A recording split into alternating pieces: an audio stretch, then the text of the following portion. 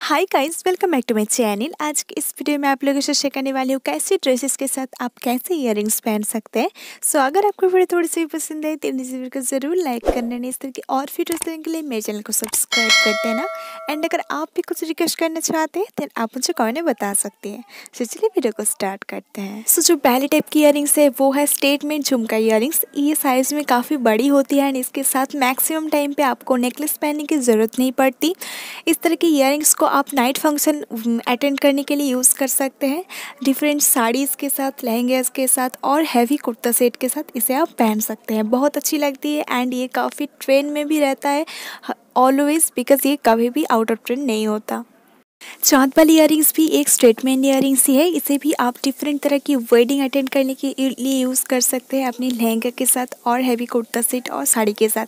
ये भी बहुत अच्छी लगती है एंड अगर आपकी राउंड फेस है तो फिर आप थोड़ा लंबी टाइप की जो चाँद वाली होते हैं उसे यूज़ कर सकते हैं। बहुत अच्छी लगेगी। सो गाइस जो नेक्स्ट है, वो है बाहुबली इयर इसे भी स्टेटमेंट इयर की कैटेगरी में ही इंक्लूड किया जाता है. इसे भी आप डिफरेंट तरह की वेडिंग अटेंड करने के लिए लहंगे के साथ और हेवी कंजीवरम साड़ीज़ के साथ एंड ब्रोकेट कुर्ता सेट्स के साथ पेयर अप कर सकते हैं. ना जो राइनस्टोन टैसल इयरिंग्स होते हैं, इस तरह की earrings mainly party wear outfits के साथ बहुत अच्छे लगते हैं लाइक हैवी एम्ब्रॉयडर्ड साड़ी और सिक्विन साड़ी और सिक्विन वन पीस के साथ।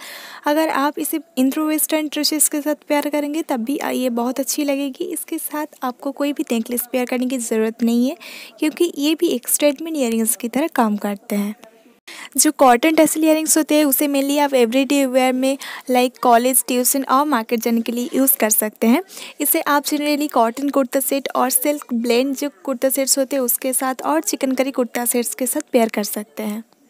इस तरह की Afghani earrings mainly silver tone में होता है। ये आपके एवरीडे वेयर कैजुअल आउटफिट्स के साथ बहुत अच्छे लगते हैं। लाइक डेली वेयर कुर्ताज के साथ ये बहुत अच्छे लगते हैं।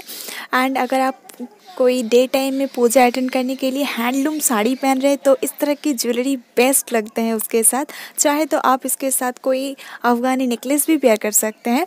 ये इंडिगो प्रिंट्स वाली जो साड़ी और ड्रेसेस होती है, उसके साथ ये बहुत अच्छे लगते हैं। सो नाउ इस तरह के जो इयरिंग्स होते हैं, इसे हुप इयरिंग्स कहते हैं। Hoop earrings are those type of earrings which goes really well with Indian western और in the western outfits so if you are trying to find any ear which will be used as multi-purpose, then these are the best, I think. Now अगर आप heavy earrings पसंद नहीं करते हैं then आप अपने daily wear में use करने के लिए start earrings and drop earrings को कंसिडर कर सकते हैं। इस तरह की जो इयरिंग्स होती है ये कुर्ता और जनरली जो डेली वेयर में टॉप्स हम पहनते हैं, उसके साथ बहुत अच्छी लगती है। So guys that's all for today's video will meet at my next video till care bye bye